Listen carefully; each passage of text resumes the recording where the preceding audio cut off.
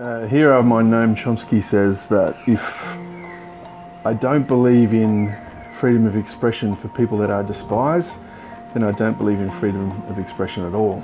It's a really challenging thing that, that I try really hard to get my head around because I, a part of me doesn't think that everybody should be able to express everything. Like, where's the line?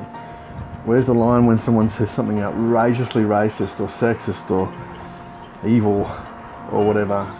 Is that just then my own perception of what is evil and what should be said and what shouldn't? And if that's the case, do I get to draw that line? Because that's a slippery slope. Who, who decides? Who decides what's right and wrong? And the really, the big thing that I struggle with is that everybody has or should have freedom to express anything they want to. It's really hard though.